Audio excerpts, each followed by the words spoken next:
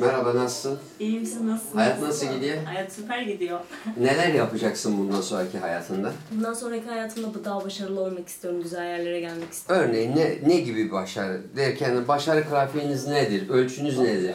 Grafik başarım yani şu anki yaşadığım hayatı yaşamak istemiyorum artık. Yani kendimi daha üst noktada görmek istiyorum. Maddi manevi. Maddi manevi, evet. Maddiyatın Şöhret yükseldiğinde istiyorum. maneviyatın da yükselecek diye öyle düşünüyorsun. Evet. İnşallah her şey gönlünce olur. İnşallah. Oyunculuk deneyimin falan var mı? Oyunculuk deneyimim çok az. İlerlemeyi düşünüyorum bu e, açıdan. Kendimi geliştirmek istiyorum. Ben bu konuda çok başarılıyım. İşte ben dram oynarım, ben komedi oynarım. Ben dediğin kesinlikle ne- komedi. e, e, Gülüşümden de anlaşıldığı üzere ben kesinlikle komedi oynamalıyım. Çünkü gülmeyi seviyorum. İnsanları güldürmeyi de çok seviyorum.